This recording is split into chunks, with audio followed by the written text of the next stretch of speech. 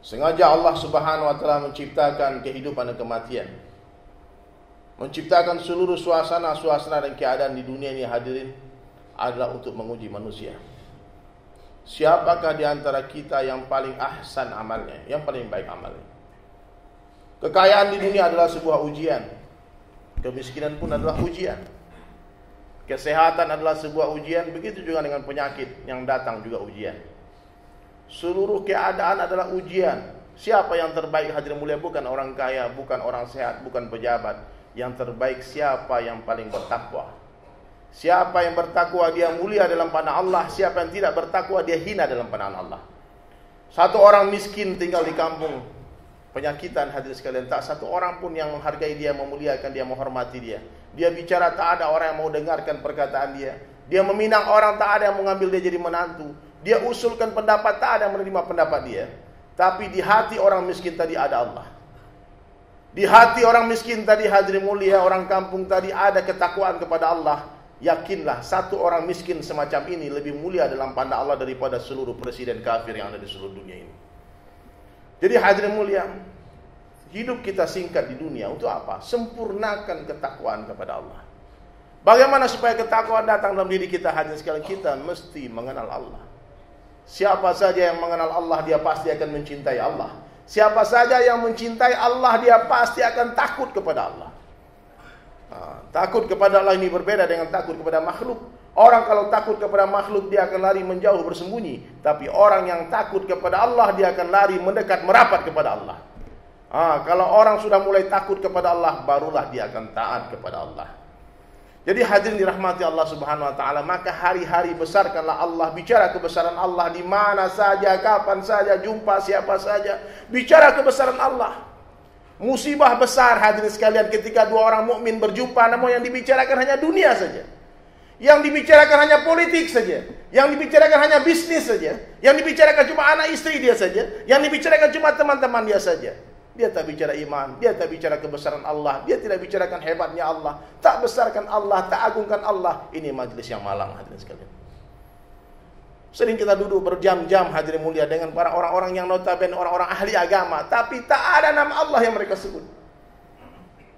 Menurut saya, menurut saya, menurut saya, sekali-sekali hadirin mulia di setiap majlis jangan hanya di masjid, bukan hanya di masjid, di pasar, di warung, di kafe, di jalan, di bis, kita bicara kebesaran Allah. Ketemu orang kaya, katakan ke orang kaya itu hadirin. Ingatkan mereka Allah yang maha kaya. Itu harta yang di rumahmu bukan kau yang punya, Allah yang punya.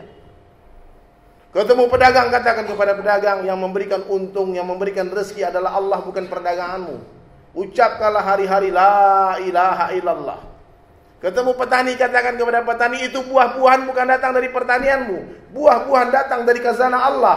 Buah bukan datang dari ranting, ranting bukan datang dari dahan, dahan bukan datang dari batang, batang bukan datang dari akar, akar bukan datang dari tanah. Tapi akar datang dari Allah, batang datang dari Allah, dahan datang dari Allah, ranting datang dari Allah, daun datang dari Allah, dan buah pun datang dari Allah. La ilaha illallah. Susu bukan datang dari sapi. Susu datang dari khazanah Allah. Nanti di surga banyak sungai susu tapi nggak ada sapinya. Ada sungai madu nggak ada lebahnya. Racun bukan datang dari ular, bisa datang dari Allah. Kasturi bukan datang dari kijang tapi datang dari Allah. Allah yang maha hebat segala-galanya. Apa saja yang Allah kehendaki terjadi pasti akan terjadi. Apa saja yang Allah kehendaki tidak terjadi tidak akan terjadi. La ilaha illallah. Yang menaikkan raja-raja adalah Allah. Yang menurunkan raja-raja adalah Allah. Yang memuliakan adalah Allah, yang menghinakan adalah Allah. Allah kuasa memuliakan orang biasa tanpa menjadikan dia raja. Allah kuasa menghinakan raja-raja tanpa mengambil kerajaannya. Dia tetap jadi raja tapi dia hina dalam pandangan manusia. Allah hinakan. Dia tetap jadi presiden tapi semua mata hina jijik melihat muka dia. Dia tetap jadi gubernur tapi semua orang jijik melihat dia. Bisa.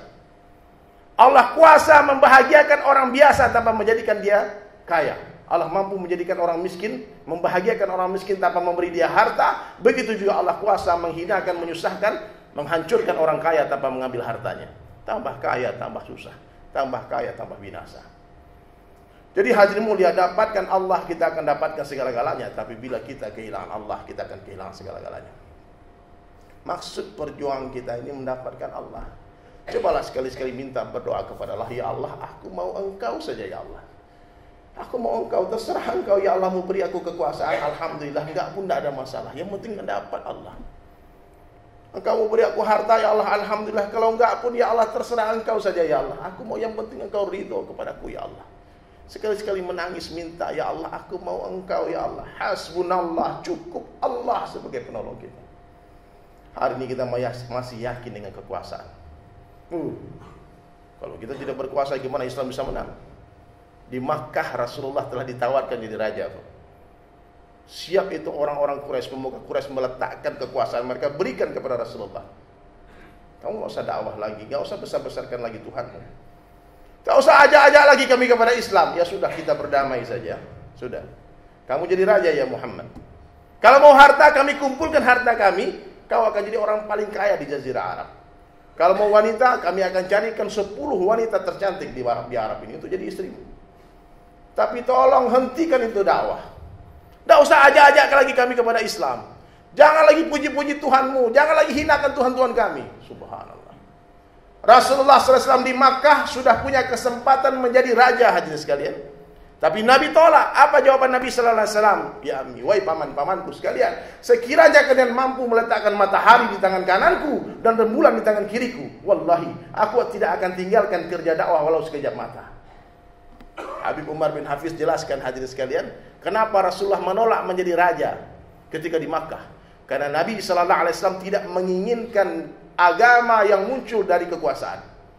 Tapi beliau Shallallahu Alaihi Wasallam menginginkan kekuasaan yang wujud dari amal agama.